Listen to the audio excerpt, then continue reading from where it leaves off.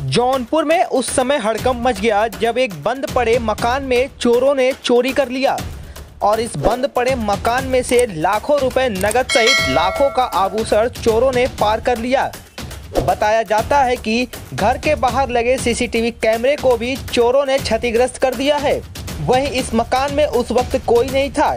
चोरी की घटना की जानकारी जैसे ही पुलिस को मिली तो पुलिस अपनी टीम के साथ वहाँ पहुंचकर मामले की जाँच पड़ताल में जुट गई है।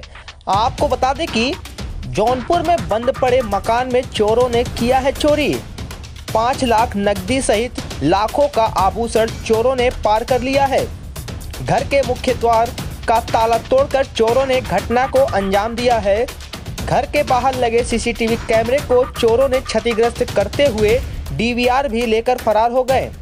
मकान मालिक का पूरा परिवार घर बंद करके राजस्थान मेहंदीपुर बालाजी दर्शन करने के लिए गया था। घटना की जानकारी मिलते ही पुलिस मौके पर पहुंचकर मामले की जाँच पड़ताल में जुट गई है। पूरा मामला सागंज कोतवाली क्षेत्र का बताया जा रहा है। आप भी देखिए हमारी इस खास रिपोर्ट नारद रिटर्न न्यूज़ पर। मामला क्या भैया? मेरे मित्र का घर है। और कल ये लोग गए थे दर्शन करने के लिए मेहदीपुर बालाजी। और सुबह आज नौ बजे जानकारी हुई कि घर का ताला टूटा हुआ है सारा सामान चोरी हुआ है। कितने का लगभग आभूषण का हुआ सामान चोरी? अब कंफर्म तो भैया वो आएँगे तभी बताएँगे लेकिन लमसम पाँच छः लाख रुपया करीब कैश था। और जो भी गाना था उनका और उनके मैडम का बच्चों का सारा चीज़ लेके गए हैं कोई चीज़ बचा नहीं है। पुलिस आई हाँ हाँ एकदम आई भैया। पुलिस क्या कर रही है? पुलिस तो अपना देखी है सारा छानबीन की है। डाग स्क्वाड वाले भी आए थे वो भी अपना देख के गए हैं। अब जो कुछ ये संदीप कुमार साहू सोनू जी कहते हैं उनको।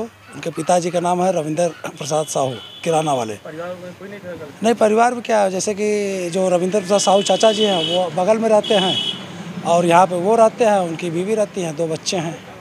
ये लोग रहते हैं।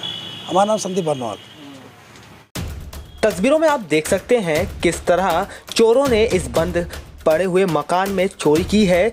वहीं मकान का सारा सामान उथल पुथल मच गया है और इस चोरी की घटना से चोरी होने के बाद वहाँ क्षेत्र में हड़कंप मच गया है। वहाँ के लोग काफ़ी दहशत में हैं। तो वहीं इस घटना की जैसे ही सूचना पुलिस को मिली, सूचना मिलते ही पुलिस वहाँ पर पहुँची है और वहीं इस मकान में पुलिस पहुंचकर जाँच पड़ताल शुरू कर दी है। तस्वीरों में देख सकते हैं, आप पुलिस मामले की जाँच पड़ताल कर रही है। पुलिस अपनी टीम के साथ उक्त स्थान पर पहुँची हुई है और मामले की जाँच पड़ताल कर रही है।